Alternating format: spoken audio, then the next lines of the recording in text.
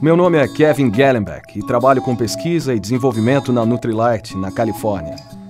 As nossas responsabilidades específicas incluem o material botânico utilizado nos produtos Nutrilite. Alguns anos atrás, decidimos desenvolver o produto Calm Magdi e, ao procurar os materiais botânicos adequados, as coisas se mostraram um pouco diferentes.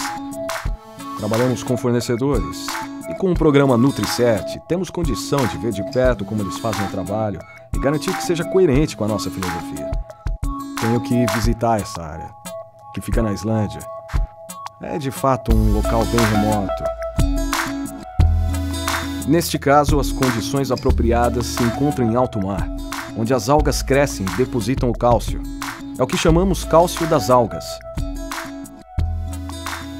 Assim, a extração ocorre de forma muito precisa na área desejada, sem prejudicar o meio ambiente.